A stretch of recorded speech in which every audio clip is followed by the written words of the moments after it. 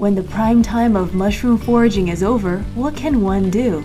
Grow some at home, of course. In this video, I am testing out 10 mushroom kits and logs, including 3 types of oyster mushrooms, lion's mane, and more. Yes, they're all edible. Ready or not, let's have some fun, guys. Get it? Fungi sound like fungi? Long live the pun. Hello darlings! Greetings from Washington State. It is late December as I film this and we just had our first snow tonight. Many months ago, I was at Pike Place Market and I picked up three logs. Now this first small log, this one is gonna grow shiitake mushrooms. They drilled holes and um, inoculated it. We have instructions here and it says this log is from Mount Rainier. And this log will produce oyster mushrooms third one is lion's mane, the smart mushroom. I'm most excited about the lion's mane. Have you guys seen photos of a fully grown lion's mane? It looks amazing. So after I got these three logs, I started to wonder, hmm, what if I grow other types of kits at the same time? So I got um, two more kits, North Spore, and this is another Lion's Mane mushroom kit, and this one's um, by Back to the Roots. So uh, after I got those kits, I started to look into other species of mushroom. So I ended up getting these guys, which I also got a couple months ago. This one's by Forest Origins. This one grows pink oyster mushrooms. Here is the brown oyster mushrooms and the white oyster mushrooms. So after getting these three, you know what happened? I ordered more. you know that term crazy cat lady? I admit I'm the crazy mushroom lady.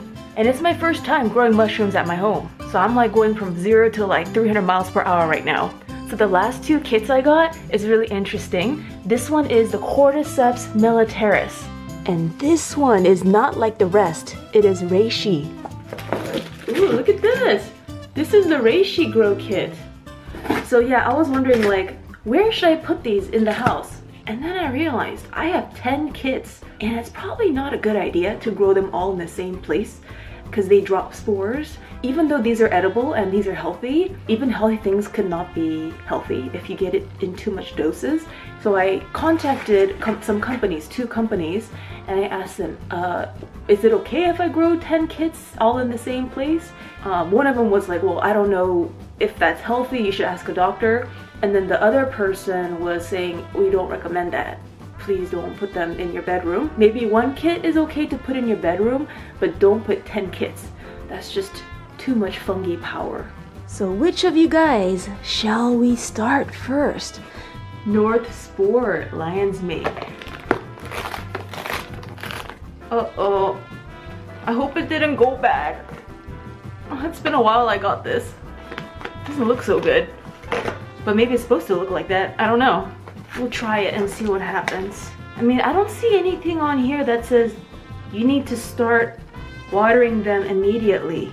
So if you're wondering what's inside this bag, it says um, there is sawdust completely colonized with mushroom mycelium.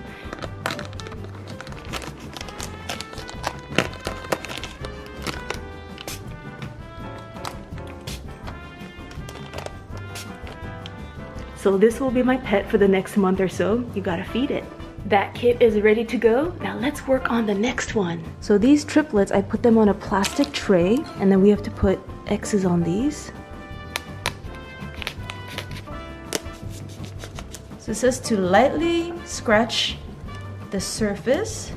Now onto the third bag. Scratch it again, lightly. Next up, we're gonna wake them up by adding two tablespoons of water.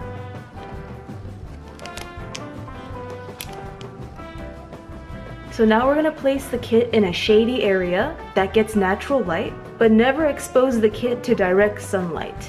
Okay, so I didn't want to keep these in any bedroom or bathroom, so I think this might be a good place to put it.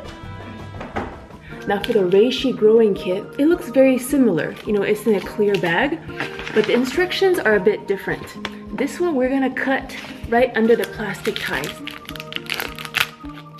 I do this, it looks like, keep the log temperature between 65 to 80 degrees Fahrenheit.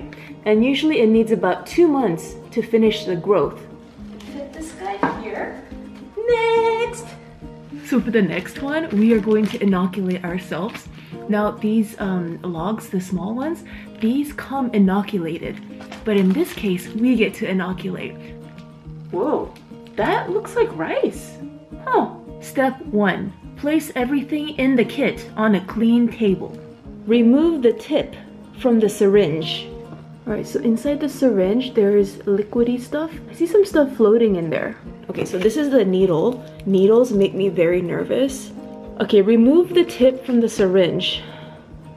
Quickly screw the captain needle onto it. Did I do it? I think it's in. Hmm, I think it's in. Okay, perfect. Wipe the rubber stopper. Okay, so here we have the rubber stopper. So the company that made this kit, they're located in Washington. So we're supporting local businesses by ordering this kit. Remove the needle cap and quickly inject all of the liquid mycelium. Oh, it's liquid mycelium. Okay, let's do this. Ah, needle. Cute. What I'm gonna do, I'm gonna push this down and then rotate like this. Ooh. Oh, it sprays out pretty fast. Oh, did I get that area? Okay, hold on. It's like a little game. Oh, I ran out already. That was fast. Place the container in a totally dark place at room temperature. I guess I'll put it in a closet? I do open my closet doors, so that's gonna let light in. So I'm gonna put this in a box. And let's put the box in there. Make sure we kind of close it tightly so light doesn't get in. I'll see ya in seven to nine days. Was just about to head to bed because I'm sleepy, but I realized, oh, I gotta soak the mushrooms. I gotta bathe them. Well, not the mushrooms, I mean the logs and one of the bags. So I'm gonna set these guys in a pan. Oh, they're floating. So we need to put something over them to keep them submerged fully. I'm gonna put another pan over them so this weight will keep them down. Oh shoot,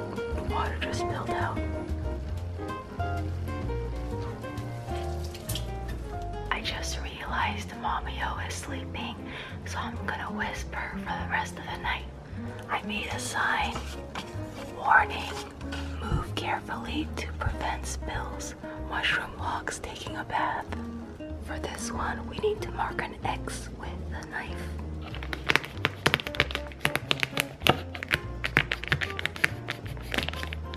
And then we gotta scratch the white layer gently. The X part needs to face down. I added just enough water so that this floats. We'll keep it face down for 6 to 10 hours and check on it in the morning.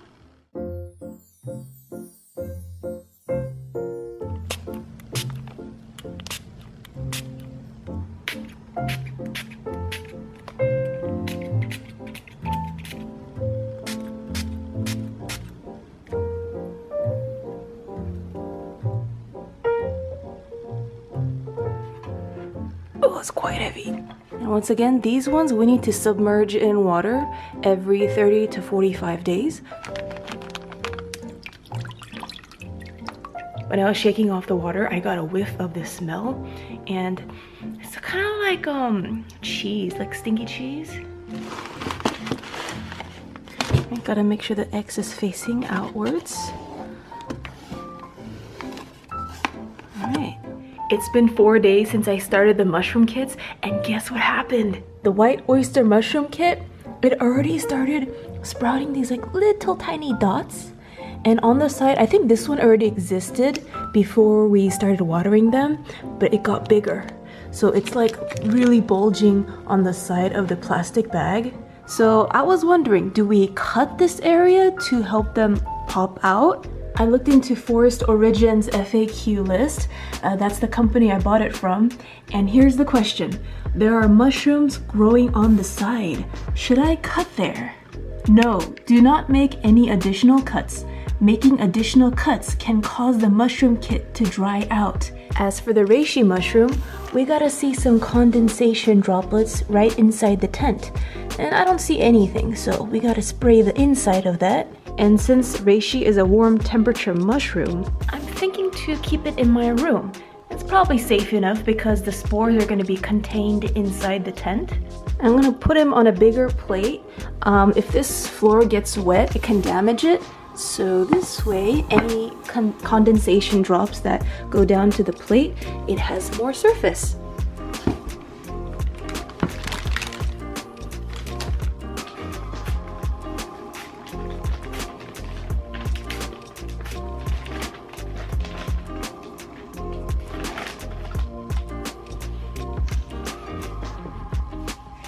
It's almost 11 p.m. The last time I showed you guys any mushrooms, it was a little over 12 hours ago. And guess what happened? Check out how much the white oyster mushrooms have grown. Before these three clusters, they had some space in between them, but now they're starting to join hands. I admit my trypophobia has been triggered, however, I can't stop looking at them. My pet mushrooms are growing into this world. Welcome, my dears, welcome. Merry Christmas! Look at how much they grew overnight. Wow, how exciting!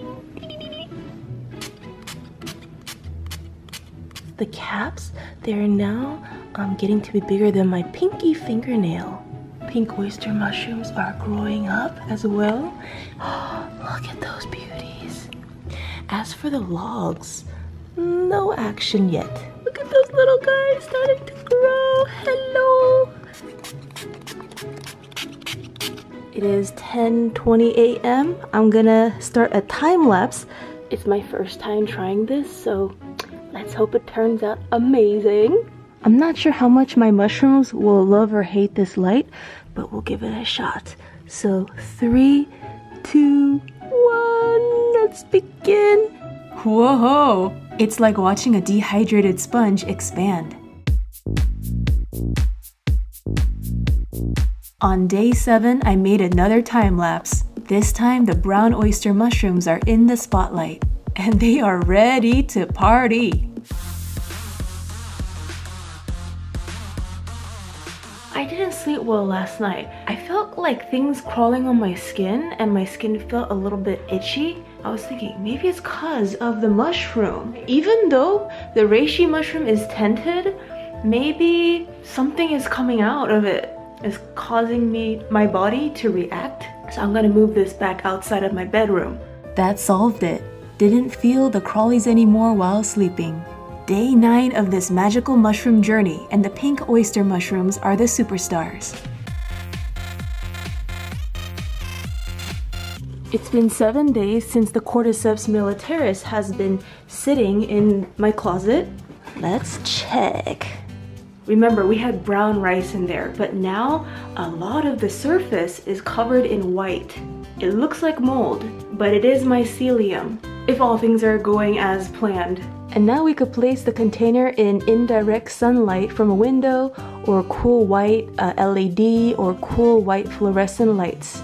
For now, let's put it in the closet where we're doing the time lapse because we got this nice lighting. And while we're in here, Let's give the brown oyster mushrooms a mist. I love watching these time lapses on replay while looking at one mushroom per round. The ones above expand, the ones below shrivel.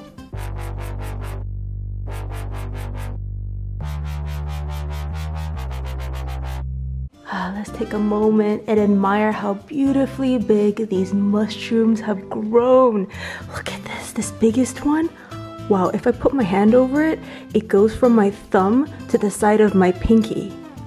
Very big. I want to briefly talk about the smell.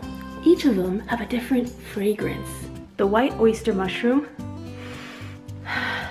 Now if you smell the bag, it's gonna be a little different. The bag can smell very pungent, especially if there's like um, old water seeping out.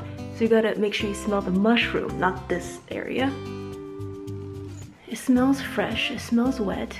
It smells like a plant, but remember, this is fungi, not a plant. The brown oyster mushrooms, the white one smells a little bit more sharp. Now the pink oyster mushroom, this smells the strongest. Smells a little musky. Of the three, the brown oyster mushroom smells the most pleasant. Mamio, how does this smell to you? How can you describe it? It is like forest and some cookie. Cookie? Yeah, some cookie. What kind of cookie? Uh, sugar cookie. I'm gonna treat these guys to a very basic, simple recipe. Just gonna cut some garlic, add some oil or ghee, some salt, a little bit of pepper. I just wanna really feel these mushrooms before I add it into food. To harvest, we have to grab as close to the stem and uh, twist them at the stem.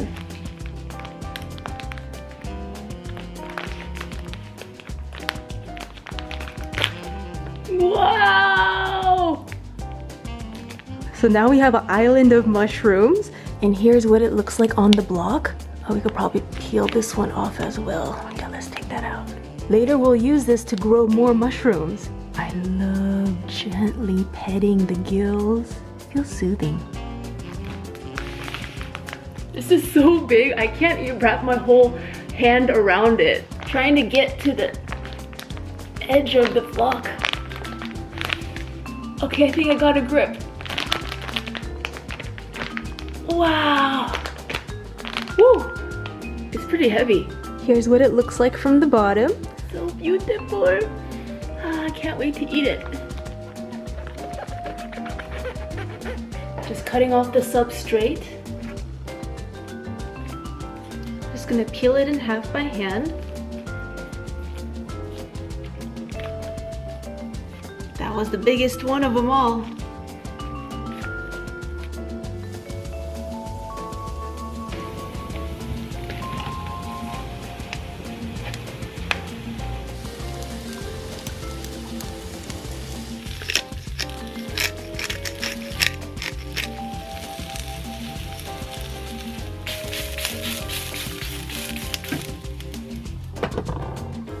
We wait for them to cool down a bit and we shall dig our teeth in.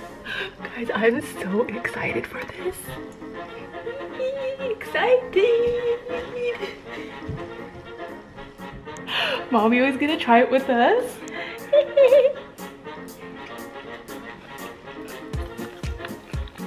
Wow. I only put garlic, olive oil, salt, pepper. Mm. What we're Yeah. tasting is the mushroom. The Mm. mushroom is speaking to us. Yeah, mushroom is uh, speaking to me. Don't need me. but I said, no, you are too tasty. Mm. so tasty. Wow. Savory, Mm. you know, a mushroom. I have to say this. the best. Mm. It's quite chewy. Deliciously chewy. Really good. You know how potato chips, they're savory and addicting? It has that quality to it. Brown oyster mushrooms, I'm just gonna peel it with my hand. Oh, they just come right off so easily.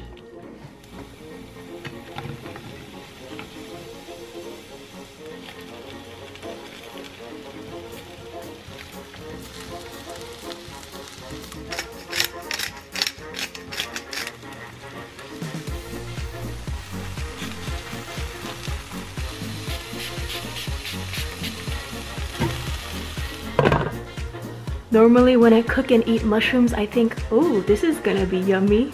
But these guys, because I grew them myself, and I feel like I bonded with these fungi. I was practically babysitting them throughout the day. When we were doing the time lapse, I constantly checked in on them every couple hours, misting them, making sure they don't dry out.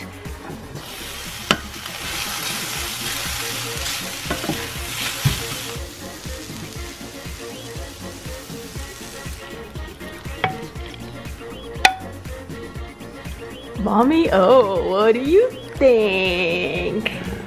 Let's try it together.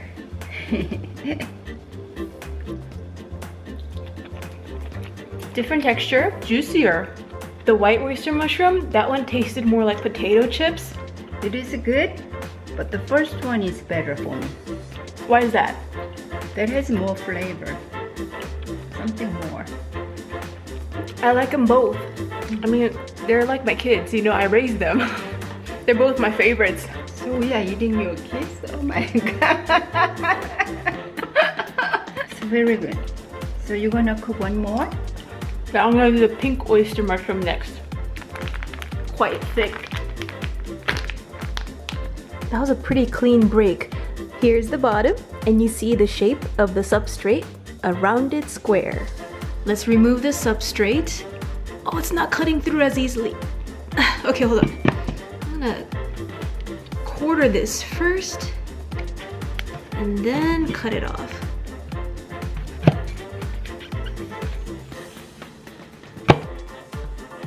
On the outside, they look like flower petals, but in the inside, you see, they are long. He loves me, he loves me not. He loves me, he loves me not. He loves me, he loves me not.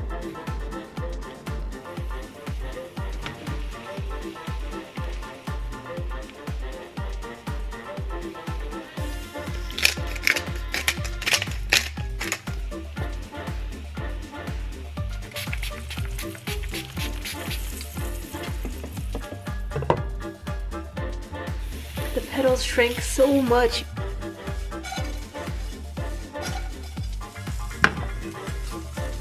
Mm. Mm, the piece I got is incredibly chewy. So the brown oyster mushroom, the stem is more moist because it's thicker. This one, the stem is not as moist, but the petals are moist, like the top part.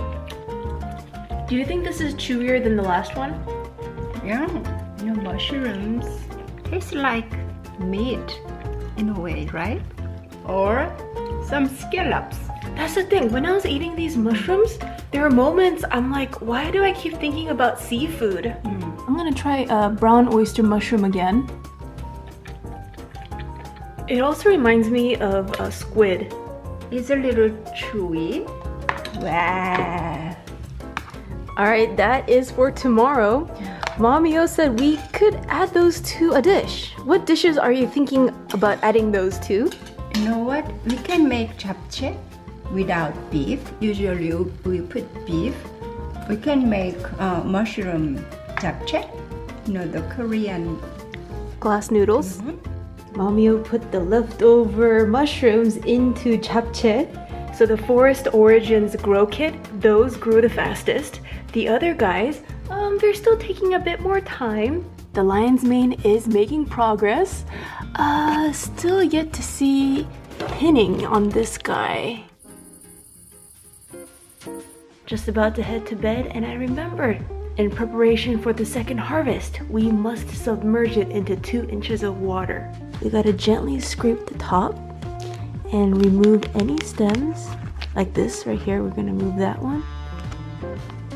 And then we're gonna poke the cleaned area with the fork, making about a, a inch deep X.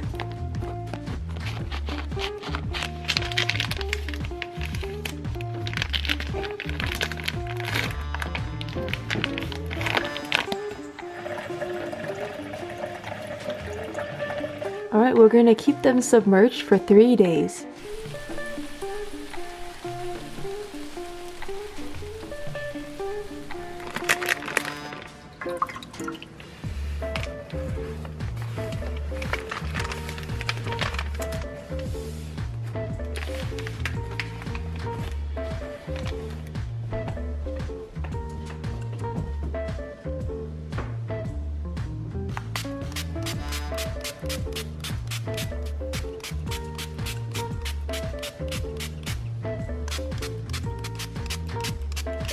If I'm counting correctly, it's been 17 days since we started growing mushrooms. Let's look inside. So once they start pinning, we will remove the towel off and start watering them directly. No pinning just yet, but ooh, it is smelly. That's the pink oyster mushroom. Now, what's this one? Ooh, that looks moldy. Hmm. So that's the white oyster mushroom. Let's see how the brown oyster mushrooms are doing. Wow, so much pinning! That looks so intense. Okay, so before the first harvest, when they were pinning, they were just like a couple patches, but this one, there's so many patches next to each other. So this one we can uncover now. As for the reishi mushroom, look at the top. We have bumps. And this bump somehow punched out through the plastic. And the bumps are growing tall. You see that one? What I've been doing is I take the tent, I spray it a couple times, I rotate it, let it sit so the mist settles inside, and then I put it over the reishi. As for the Cordyceps militaris, it is all orange in there. The other oyster mushrooms are not doing so well. It looks like they were pinning, but then it got moldy. So over here you see it became uh, kind of green as for the lion's mane, we got some nice volumes. However, they didn't grow big enough where, you know, it gets very hairy like a lion's mane. It says to harvest when the mushroom forms visible teeth and before it starts to yellow. From what I see, there are no visible teeth. However, they are yellowing. So I guess it's time to eat them. Cute! It reminds me of cauliflower. Taking a closer look inside the grill kit, look, these are the baby mushrooms getting ready to pop out. I'm going to cook the lion's mane the same way as the other mushrooms. Garlic, olive oil, salt, pepper, keep it real simple. I really want to feel the lion's mane and taste the difference. Let's cut off the substrate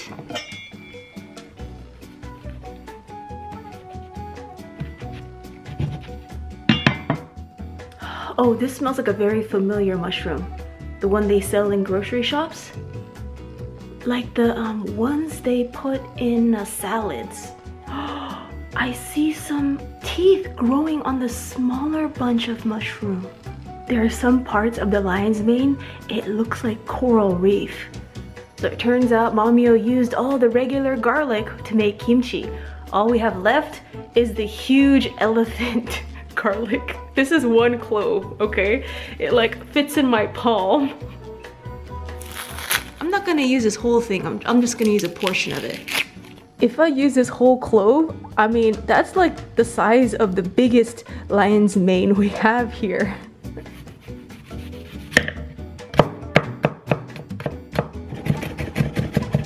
All right, now I'm gonna peel these apart by hand. The cross section is fantastic. If you look on the outside, it looks like spherical and it looks like a solid thing. But when you see the inside, you see the teeth. Wow, cool. When you push down on it, it's cushiony, kind of like the bottom of sneakers. It's a firm bouncy. The parts that are very yellow, I think I'm just gonna take that part off it does feel a bit different compared to the more white, fresh part.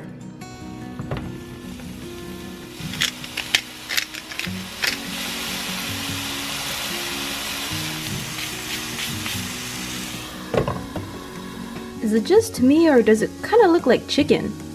Alright, I'm waiting for it to cool down before we invite Mamio to try it with us. Have you ever tried lion's mane mushroom before? try? I never heard about the mushroom's name either. but smells so good. I'm super thrilled about this. Ever since I started getting into mushrooms and learning about them, the minute I saw the photo of the lion's mane, I was like, whoa, I gotta try that. But I never saw it out in nature. So being able to grow it at home and trying it at home, it is an honor. All right, I'm gonna grab it with my finger. Mmm. Very moist. Did I cook it thoroughly? Yeah. It's so moist. Mm -hmm. It is chewy when you first bite into it, but it's not nearly as chewy as the oyster mushrooms. With the moisture mushrooms, I was able to strip them by hand more evenly. Um, but these ones, like, it's a spherical uh, mushroom, so it's harder for me to like peel it evenly. So that's why like some parts it's like super juicy. and other parts is a little bit more like the oyster mushrooms. That is delicious. Mm-hmm. So it's all gone now? I'm gonna try to do a second harvest. How do we describe this flavor though? I, I really want to let the viewers feel it through us. I mean, yeah, it's savory. There's only so many words to say savory, right? You know the texture of this? It's a little bit like a fatty chicken. Or even kind of like the fatty part of pork belly with bits of chewiness. How do you describe it? If I compare the mushrooms we tried to beef steak, uh, oyster mushrooms are New York steak. This is Wagyu steak. You like it? my comparison, you like my comparison? Do you agree with me? yeah. Taste wise, this is the king of mushrooms. right?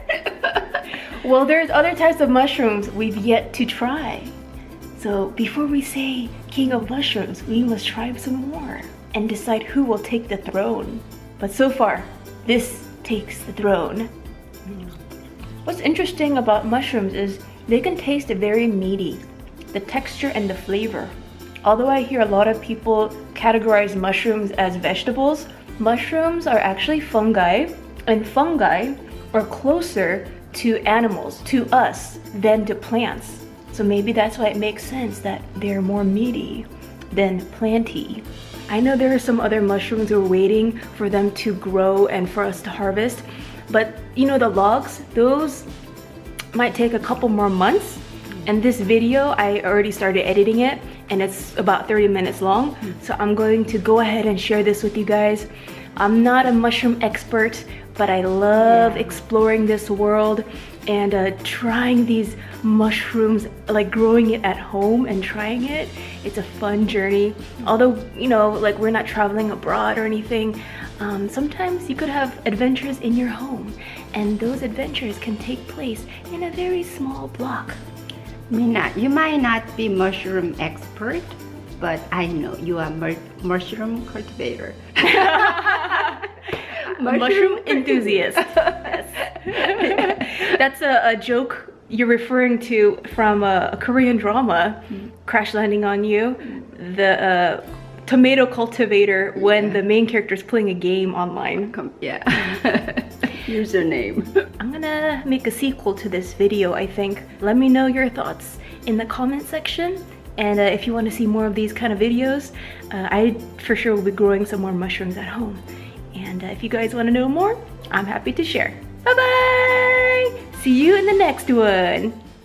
During a very rainy nature walk, I passed by many fallen logs covered in moss. But this one log had extra magic on it. There were some flappy looking things popping out. Can you guess what they are? I think they're oyster mushrooms. Not too far away, there was a mossy stump with three mushrooms. Aren't they just lovely?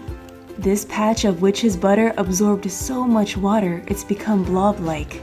Thanks, Mother Nature, for your wonders, and thank you guys for watching my video. Remember to subscribe and hit that notification bell. For food and travel in Korea, check out my other channel, Sweet and Tasty TV. Toodles, my noodles. After December is over, my Christmas tree, I'm not gonna toss it out. I'm going to grow mushrooms on it. So dear Christmas tree, we'll be together forever. so these three logs, each is labeled on the bottom. So O stands for oyster mushroom, uh, L stands for lion's mane, and S is shiitake. Check out how much the white oyster mushrooms have grown. The other mushroom kits are lagging behind, but you know what? This is so symbolic of life. Think of each of these mushroom kits as a person. This is one person, another person, and yet another person. And maybe you could even see each kit as a dream. Whether it be humans or dreams, not everything blossoms at the same time. Some of us may reach our goals, our dreams at an earlier time in life, while others it takes an extra decade or two or three. It could take a really long time for us to blossom into the full human being we always wanted to be.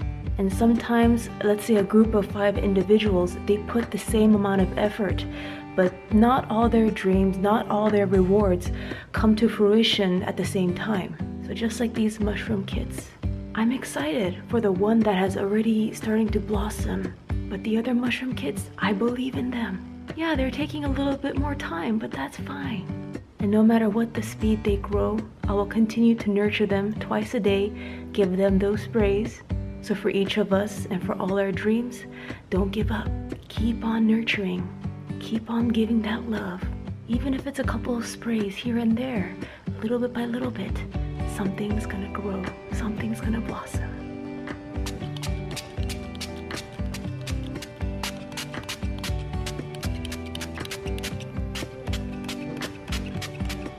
The white oyster mushrooms are more than ready to eat. There are so many smaller mushrooms that are trying to grow, but I think uh, the bigger mushrooms were taking the nutrients, and there just wasn't enough water. Like I tried to spray extra on the bottom, but I guess um, the bigger ones were sucking up the water, the moisture. The pink oyster mushrooms also look very ready to eat. The reason why these edges look a bit dry is because, well, I dropped it the other day by accident and um, it bruised them. And I think the water's not getting to those edges anymore. I'm so sorry. So sorry. Get better. Unsalted mixed nuts jar, but there's kimchi in it.